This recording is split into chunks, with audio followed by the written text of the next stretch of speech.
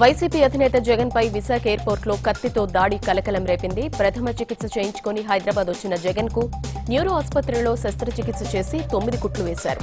నిందితుడు తూర్పుగోదావరి జిల్లా ముమ్మిడివరానికి చెందిన శ్రీనివాస్గా గుర్తించారు. జగన్ పై జరిగిన దాడిని చంద్రబాబు తీవ్రంగా ఖండించారు. పూర్తి వివరాలు తెలుసుకోకుండా ఆందోళనలతో వైసీపీ నేతలు అలజడి సృష్టించారు అని అన్నారు. ఏపీలో భయానక వాతావరణం సృష్టించాలని చూస్తున్నారు అని ఆగ్రహం వ్యక్తం చేశారు. ఎయిర్పోర్ట్లోకి నిందితుడు ఉపయోగించిన కత్తి ఎలా వచ్చిందన్న కోణంలో దర్యాప్తు చేస్తున్నట్లు ఏపీ డీజీపీ తెలిపారు. పబ్లిసిటీ కోసమే దాడి చేసినట్లు తెలుస్తోందని పేర్కొన్నారు. ఎయిర్పోర్ట్లో తనిఖీ చేయాల్సిన బాధ్యత సిఐఎస్ఎఫ్ వారిదేనన్నారు.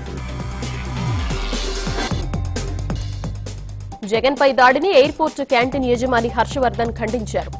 తమ దగ్గర పనిచేసే శ్రీనివాస్ ఇంతటి పని చేస్తాడు అని ఊహించలేదన్నారు. నిన్న వైసీపీ రాజకీయం చేయడం సరికాదన్నారు. జగన్పై దాడి ఘటనలో నిందితుడు శ్రీనివాస్ రాసిన లేఖను టీవీ ఫైవ్ సంపాదించింది. ఆ లేఖలో తాను జగన్కు మద్దతుదారుణ్ణని వైఎస్ఆర్ అంటే తనకు చాలా అభిమానమని పేర్కొన్నాడు. హైదరాబాద్లో సిటీ న్యూరో ఆసుపత్రిలో చికిత్స పొందుతోన్న జగన్ను తెలంగాణ కాంగ్రెస్ సీనియర్ నేతలు జానారెడ్డి జైపాల్ రెడ్డి కోమటిరెడ్డి వెంకటరెడ్డి పరామర్శించారు. ఆయన ఆరోగ్య పరిస్థితిని డాక్టర్లను అడిగి తెలుసుకున్నారు. జగన్ పై కత్తితో దాడి ఘటన ఎన్నో అనుమానాలకు తావిస్తోందని ఏపీ మంత్రులు ఆరోపించారు. ప్లాన్ ప్రకారమే జగన్ పై దాడి చేసినట్లుందని పేర్కొన్నారు. ఈ దాడి ఘటన రాజకీయంగా లబ్ధి పొందాలని చూస్తున్నారు అని దుయ్యబట్టారు. కత్తితో హత్యాయత్నం చేసిన వ్యక్తి వైసీపీ అభిమానంటూ టీడీపీ నేతలు అవాస్తవాల్ని ప్రచారం చేస్తున్నారు అని బొత్స సత్యనారాయణ దుయ్యబట్టారు. జగన్పై దాడి వెనుక ప్రభుత్వ కుట్ర దాగి ఉందని ఆరోపించారు. వైసీపీ అధినేత జగన్ పై కత్తితో దాడికి నిరసనగా విశాఖలో వైసీపీ కార్యకర్తలు ఆందోళనకు దిగారు. రోడ్లపై బైఠాయించి వాహనాలను అడ్డుకున్నారు. ఎయిర్పోర్ట్లో జగన్పై దాడి ప్రభుత్వ వైఫల్యమే అంటూ నినాదాలు చేశారు. జగన్ పై కత్తితో దాడికి నిరసనగా కృష్ణా జిల్లాలో వైసీపీ నేతలు కార్యకర్తలు ఆందోళన చేపట్టారు. జగ్గైపేట మండలం చిల్లకల్లు వద్ద టోల్ ప్లాజా వద్ద వైసీపీ నేత సామినేని ఉదయ్ భాను నిరసనకు దిగారు. ప్రతిపక్ష నేతపై కత్తితో దాడికి నిరసనగా చిత్తూరు జిల్లా కుప్పంలో వైసీపీ కార్యకర్తలు ఆందోళనకు దిగారు. అధికార పార్టీ కుట్రలో భాగంగానే జగన్పై దాడి జరిగిందని ఆరోపించారు. జగన్ కేమైనా జరిగితే రాష్ట్రం అగ్నిగుండమవుతుందని కర్నూలు జిల్లాకు చెందిన వైసీపీ నేతలు తెలిపారు. జగన్ పై దాడికి నిరసనగా మంత్రాలయం రాఘవేంద్ర కూడలిలో ధర్నా నిర్వహించారు. వైసీపీ అధినేత జగన్ పై జరిగిన దాడి అమానుషమైన చర్యని సినీ నటుడు మోహన్ బాబు అన్నారు. తెలుగువారి ఆశీస్సులతో జగన్ ఈ గండం నుంచి బయటపడ్డారు అని పేర్కొన్నారు. జగన్ పై కత్తితో దాడి ఘటనపై ఆంధ్రప్రదేశ్ ప్రత్యేక హోదా పోరాట నాయకుడు హీరో శివాజీ పలు ఆసక్తికర వ్యాఖ్యలు చేశారు. ఈ దాడి ఆపరేషన్ గరుడలో భాగంగా జరిగిందని పేర్కొన్నారు. ఏపీలో ఇలాంటి దాడులు ఇంకా జరుగుతాయని అన్నారు. ఉత్తమ్ కేటీఆర్ మధ్య ట్విట్టర్ వేదికగా సెటైర్లు కౌంటర్లు పేలాయి. పోలీసులను అడ్డు పెట్టుకుని కాంగ్రెస్ నేతలపై కక్ష సాధిస్తున్నారు అని ఉత్తమ్ ఆరోపిస్తే దిగజారుడు రాజకీయాలు మంచిది కాదని దేశానికి ఆదర్శంగా నిలుస్తోన్న తెలంగాణ పోలీసుల మనస్థైర్యాన్ని దెబ్బతీయొద్దంటూ కేటీఆర్ కౌంటర్ ఇచ్చారు. మహాకూటమి జైత్రయాత్ర జగిత్యాల నుంచి కొనసాగిస్తామని జీవన్ రెడ్డి తెలిపారు. జగిత్యాల నియోజకవర్గ అభివృద్ధి కాంగ్రెస్ పార్టీకే దక్కుతుందన్నారు. టీఆర్ఎస్ పాలనను అంతమొందించడమే మహాకూటమి లక్ష్యమన్నారు. రాష్ట్రంలో వ్యక్తిగత గోప్యతకు భంగం కలుగుతోందని చీజేఎస్ చైర్మన్ కోదండరాం ఆవేదన వ్యక్తం చేశారు. విస్తృత స్థాయిలో ఫోన్లు ట్యాపింగ్ చేస్తున్నారు అని మండిపడ్డారు. చివరికి వాట్సాప్ కాల్స్ కూడా ట్యాప్ చేస్తున్నారు అంటూ ఆయన ఆరోపించారు. నిర్మల్ నియోజకవర్గంలో మంత్రి ఇంద్రకరణ్ రెడ్డి ఎన్నికల ప్రచారం నిర్వహిస్తున్నారు. ప్రజలు టీఆర్ఎస్ వైపే ఉన్నారు అన్నారు.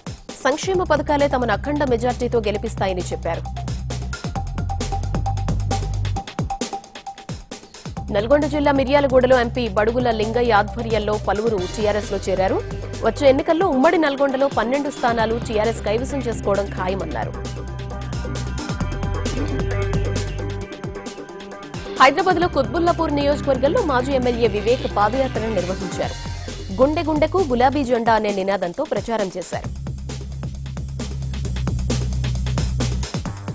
జయశంకర్ భూపాలపల్లి జిల్లా మహాముత్తారం మండలం బోర్లగూడెంలో టీఆర్ఎస్ మాజీ ఎమ్మెల్యే పుట్ట మధుకు చేదు అనుభవం నాలుగున్నరేళ్ళలో తమ గ్రామంలో ఏం అభివృద్ధి చేశారు అని ప్రజలు నిలదీశారు. వరంగల్ పశ్చిమ టీఆర్ఎస్ అభ్యర్థి వినయ్ భాస్కర్ ప్రచారంలో దూసుకువెళ్తున్నారు. ఇప్పటికే మొదటి విడత ప్రచారం పూర్తి కాగా రెండో విడతలో ప్రజా ఆశీర్వాద యాత్ర చేపట్టారు. ఉమ్మడి ఖమ్మం జిల్లాలో ఏ రాజకీయ పార్టీ అయినా యాదవులకు ప్రాతినిధ్యం కల్పించాలని భద్రాద్రి కొత్తగూడెం జిల్లా యాదవ సంఘం నేతలు కోరారు. సామాజిక న్యాయం పేరుతో అన్ని రాజకీయ పార్టీలు తమను వాడుకుంటున్నాయని ఆవేదన వ్యక్తం చేశారు. నాలుగున్నరేళ్ళుగా కలెక్టర్లు కలిసికట్టుగా పనిచేసి సహకరించారు అని సీఎం చంద్రబాబు అభినందించారు. తెత్లీ తుఫాను వల్ల శ్రీకాకుళం జిల్లాకు తీవ్ర నష్టం వాటిల్లిందన్నారు. ఇదివరకు జరిగిన భారీ ప్రాణ నష్టాల్ని ఇప్పుడు అరికట్టగలుగుతున్నామని చెప్పారు. తిత్లీ తుఫాన్ సృష్టించిన బీభత్సాన్ని నష్టాన్ని అంచనా వేసేందుకు కేంద్ర బృందం శ్రీకాకుళం చేరుకుంది. తొమ్మిది మంది సభ్యులతో కూడిన ఈ బృందానికి హోంశాఖలో విపత్తుల నిర్వహణ విభాగ సంయుక్త కార్యదర్శి ఎస్కే జిందాల్ నాయకత్వం వహిస్తున్నారు. విశాఖపట్నంలో ఫిన్టెక్ ఫెస్టివల్లో మొదటి హ్యూమనాయిడ్ రోబో సోఫియా సందడి చేసింది. ఈ సందర్భంగా ఏపీ ఐటీ శాఖ మంత్రి నారా లోకేష్ రోబో సోఫియాల మధ్య సాగిన సంభాషణ ఆసక్తికరంగా మారింది. ఏపీలో జీఎస్టీ షెడ్యూల్ విడుదలైంది. మంత్రి గంటా శ్రీనివాసరావు షెడ్యూల్ను స్వయంగా ప్రకటించారు. నవంబర్ ఒకటి నుంచి ఆన్లైన్లో దరఖాస్తులు అందుబాటులో ఉంటాయని చెప్పారు. విశాఖలో ఐటీ దాడులు కలకలం రేపుతున్నాయి. ఐటీ అధికారులు ప్రత్యేక బృందాలుగా ఏర్పడి దువ్వాడ సెజ్లో ఉన్న టీజీఐ కంపెనీలో విస్తృతంగా తనిఖీలు చేశారు.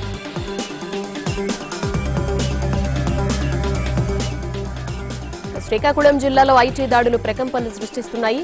మినరల్ కంపెనీలపై ఏకకాలంలో దాడులు నిర్వహించారు. రణస్థలంలో టీడీపీ నేత నడుకుదిటి ఈశ్వర్రావు ఇంట్లోనూ తనిఖీలు నిర్వహించారు. విజయవాడలో ఏపీ వ్యవసాయ పరపతి సంఘం ఉద్యోగులు కదం తొక్కారు. న్యాయమైన సమస్యలు పరిష్కరించాలంటూ రైల్వే స్టేషన్ నుంచి ధర్నా చౌక్ వరకు భారీ ర్యాలీ నిర్వహించారు. రాయలసీమలో కరువు పరిస్థితిని ఎదుర్కొనేందుకు కేంద్ర ప్రభుత్వం వెంటనే నిధుల్ని విడుదల చేయాలని సిపిఎం రాష్ట్ర కార్యదర్శి మధు డిమాండ్ చేశారు. కేంద్రంలో మోదీ అధికారంలోకి వచ్చాక దేశంలో కుంభకోణాలు అవినీతి అక్రమాలు పెరిగిపోయాయన్నారు. మోదీ ప్రభుత్వం ఏపీపై కక్షపూరితంగా వ్యవహరిస్తోందని గోపాలపురం ఎమ్మెల్యే వెంకటేశ్వరరావు అన్నారు. ప్రజల్ని టీడీపీ నాయకుల్ని ఇబ్బందులకు గురిచేస్తోందని ఆరోపించారు. సీబీఐపై వచ్చిన అవినీతి ఆరోపణల్ని నిరసిస్తూ పశ్చిమ గోదావరి జిల్లా పాలకొల్లులో ఎమ్మెల్యే నిమ్మల రామనాయుడు ఆధ్వర్యంలో కేంద్ర ప్రభుత్వ దిష్టిబొమ్మను దగ్ధం చేశారు.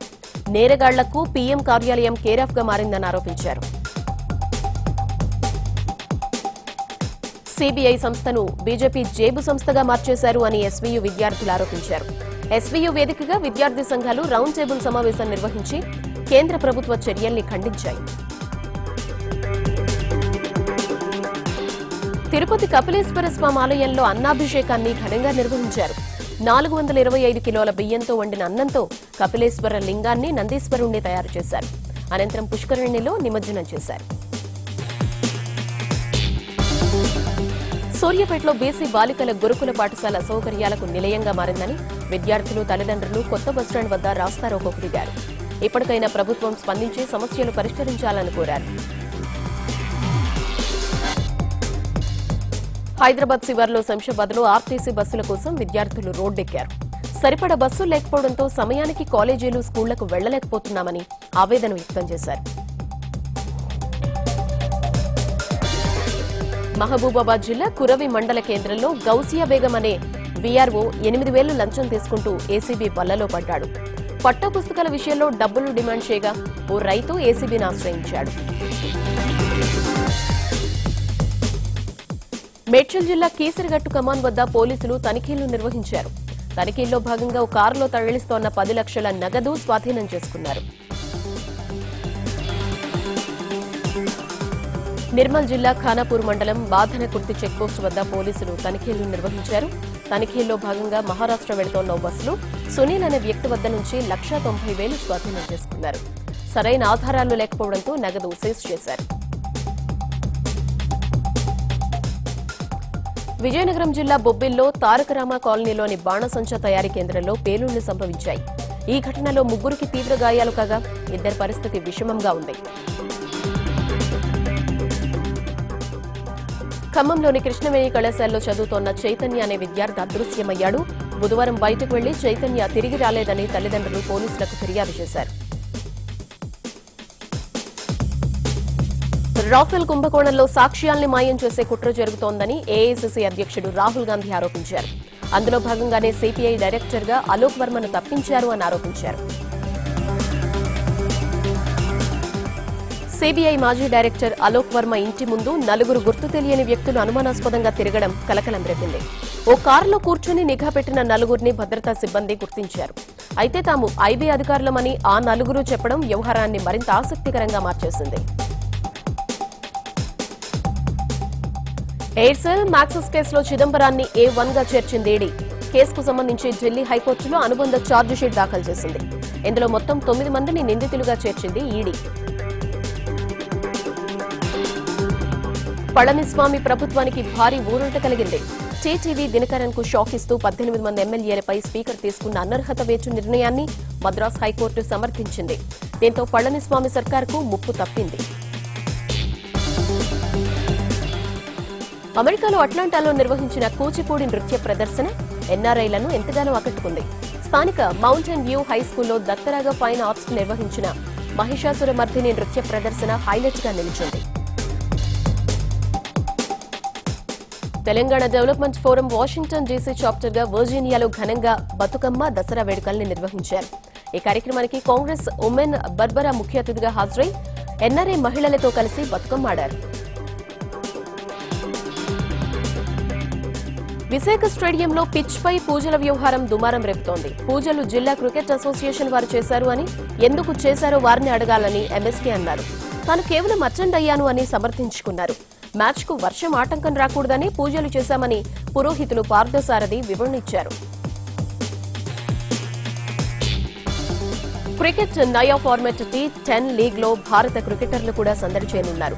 టీమిండియా మాజీ pacer Zaheer Khan T ten league రెండో సీజన్లో ఆడనున్నారు. జహీర్తో పాటు మొత్తం ఎనిమిది మంది భారత ఆటగాళ్ళు లీగ్లో ఆడేందుకు ఒప్పందం కుదుర్చుకున్నారు.